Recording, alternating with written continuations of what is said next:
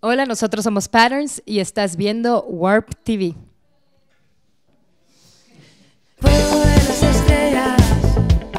Patterns es eh, una banda centroamericana, su base está en, en Costa Rica, eh, somos tres los integrantes, Luigi Jiménez, Mario Miranda y Stephanie. El nuevo sencillo es el primero que tenemos en español porque todo el trabajo anterior ha sido en inglés. Volvimos a remontar a los 80s y estuvimos escuchando las producciones y mezclas que hicieron con Luis Miguel en esa época.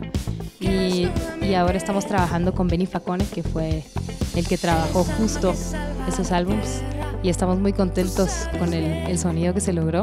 Sí, realmente es todo un reto esto de componer en español cuando estás acostumbrado a hacerlo en inglés, ¿no? Y es, eh, es una búsqueda, una búsqueda de encontrarse, o encontrarnos a nosotros mismos con nuestro lenguaje. Es decir, bueno, esto es lo que somos, queremos trascender, queremos llegarle a una audiencia, a nuestra audiencia, y eso somos los latinoamericanos.